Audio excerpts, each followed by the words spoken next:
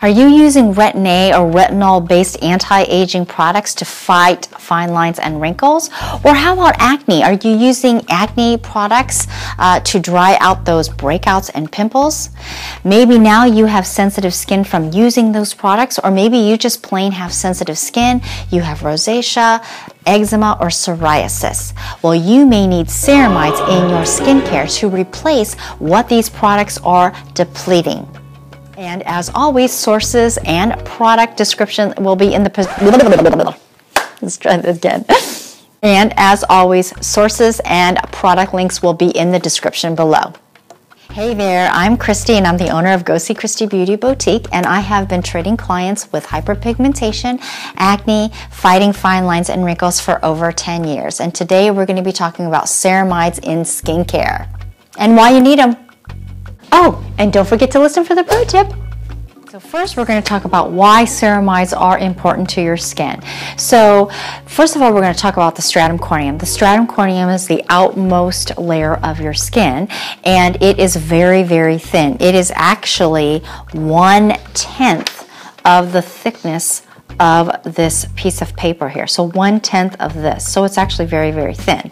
But the stratum corneum is actually really, really important to the function of the skin because it's it not only serves as a protective barrier from the external environments, from you know pollutants and chemicals and just products that we're using. It also regulates the electrolytes and the moisture um, from the external environments and to protect the internal part of our bodies. So it's also really important because it actually makes up 75% of the stratum corneum. So when you start to use products or when your skin is exposed to uh, harsh ingredients and you strip away the ceramides, now we start getting into some inflammation. We can get into dehydration, which then for even further long-term moisture loss can lead to thinning of the skin and fine lines and wrinkles. So why does your skin need the lipids to hold the moisture in? Well, we're gonna go back to our brick wall illustration right over here. So if you can picture the brick walls, those are the bricks, those are your corneocytes. And then the cement that holds those uh, corneocytes together, that is called the intercellular cement. So those spaces in between the brick, that is um, where the ceramides are, okay? So ceramides, fatty acids, and cholesterol cholesterol. So there's like the, that mortar, and it actually is a, uh, it keeps the moisture in, so the moisture permeability of the skin. So lipid synthesis, sy synthesis.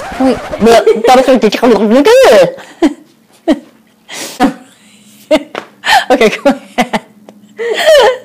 So lipid synthesis happens in the keratinocytes in all layers of the epidermis. So when you remove the barrier function of the fatty acids through cleansers, uh, AHA-based products, glycolic acid peels, or any type of acid peels, microdermabrasion, the use of retin-A or retinoids, um, any type of thing that's going to strip that, what happens is it actually stimulates your skin to make more fatty acids to remove uh, or to replace the fatty acids that have been removed.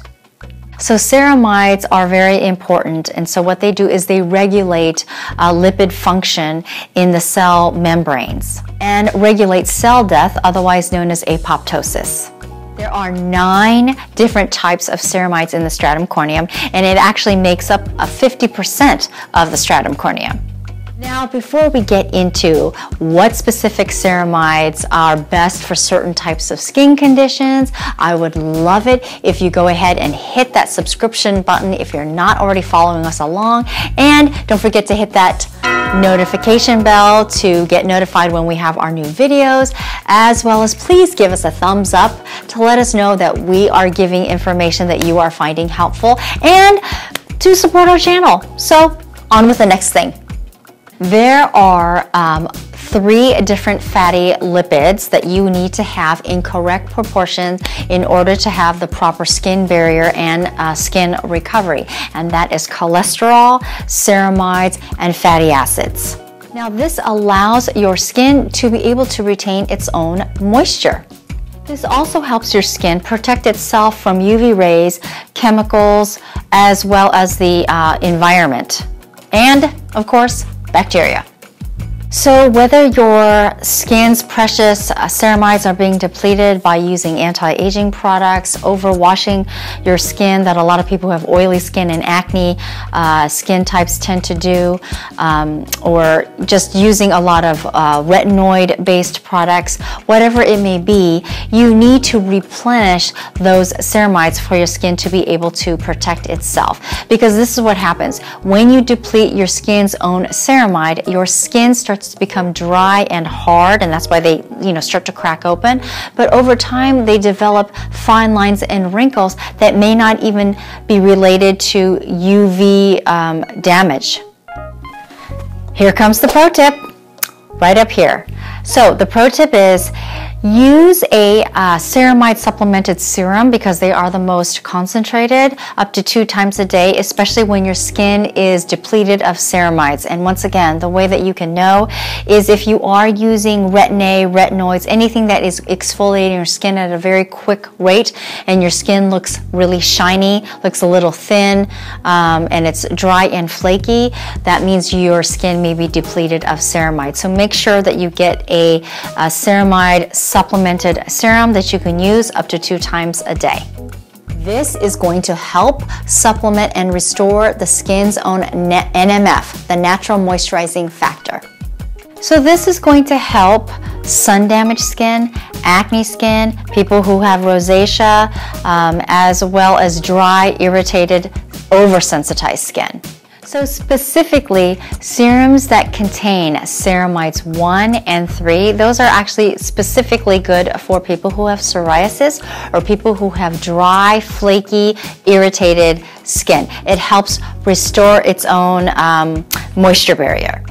So according to an article by Dr. Heather Brannon titled Ceramides Skin Lipids That Keep the Skin Moisturized, people who have eczema have markedly lower ceramides in their stratum corneum. In which case, so people who have psoriasis actually have the same number of ceramides with people who have normal skin. But psoriasis sufferers have less ceramide 1, 3, 4, and a subset of 5 and 6 but they have more of ceramide two. So I'm going to suggest some products that can help those of you who are suffering from uh, eczema or psoriasis, who have rosacea. You have a, you may have a compromised lipid barrier. So we're going to talk about some products that can help you restore some of those ceramides. So the product descriptions and the links will be in the description below, so go ahead and click on that. But one of them is the CeraVe Gel Oil. Now this does have retinol in it and it sells for $15.99. However, so for those of you who have sensitive skin um, or you're already using a retin-A or retinoid based product, I don't recommend this for your skin type. They do have the, um, the whole array of ceramides enriched in this product. So we do have another alternative alternating product that I'm going to talk about. Now the other one is great for those of you who have eczema and those of you who have sensitive skin. It has all the uh, ceramides that you need and it's actually ranked a little bit higher on the ingredients list and that's called Reinforce and that is from I Love Skin Inc. Um, and so I will put a link on that too. Um, I have the link on there for Amazon. Um, it's sold by the same company but I actually went on their website and they're actually selling it for half of what Amazon is selling it for. So I will also go ahead and put a link for that as well. And I hope you understand better why you actually need the ceramides. So in the beauty industry, even though they keep focusing on anti-aging products, anti-aging products, where a lot of it speeds up the skin cell turnover rate, if you don't balance that out by helping your skin have moisture, retain its own ceramides and fatty acids, and you throw that balance off, then you're actually aging your skin or you can age your skin quicker. So you do have to have that balance there. So remember, once again, makeup is an art and skincare is a science. Thanks for watching and we'll see you in our next video.